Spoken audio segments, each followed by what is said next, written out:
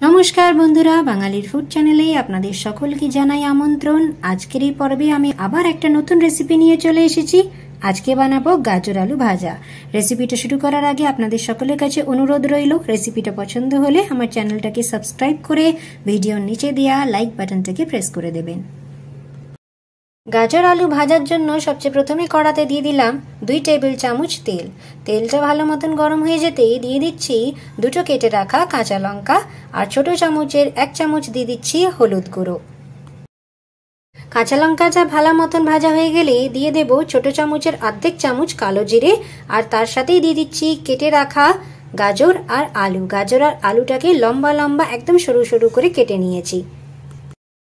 এবার আমাদের ততক্ষণ রান্নাটা করতে হবে। যতক্ষণ না আলু আর গাজরটা ভালো মতন ভাজা হচ্ছে, আর তার সাথেই কিন্তু মোস্ট ইম্পর্টেন্ট জিনিস আলু আর গাজরটাকে নরমও হতে হবে। ততক্ষণ রান্নাটা আমরা করে নেব। গ্যাসটাকে এই সময় মিডিয়াম ফ্লেমেই রাখছি, আর ফিরে আসছি কিছুক্ষণ পর।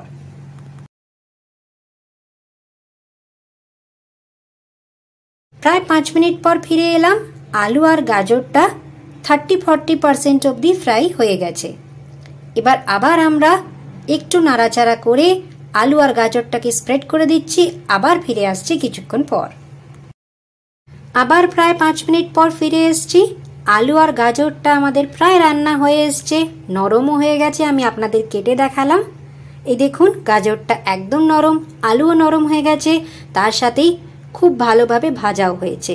এবার প্রায় তিন থেকে চার মিনিট রান্নাটা করে নিলেই কিন্তু আমাদের আলু আর গাজর ভাজা একদম রেডি হয়ে যাবে। এই দেখুন এবার শুধুমাত্র অ্যাড করে দেব স্বাদ মতন নুন। তা এখানে বন্ধুরা অ্যাড করে দিচ্ছি স্বাদ মতন নুন। নুনটা ভালো মতন মিশিয়ে নেব আর গ্যাসের ফ্লেমটা অফ করে আলু গাজর ভাজাটাকে প্রায় পাঁচ মিনিটের মতন কড়াতেই চাপা দিয়ে রেখে দেব। তাতে করে নুনটা ভালো মতন ভাজাতে মিশিয়ে যাবে। তাহলে বন্ধুরা, আজকের এই পর্বটা এই পর্যন্তই। আশা করছি আপনাদের এই রেসিপিটা পছন্দ হবে। কমেন্টের মাধ্যমে জানাতে ভুলবেন না।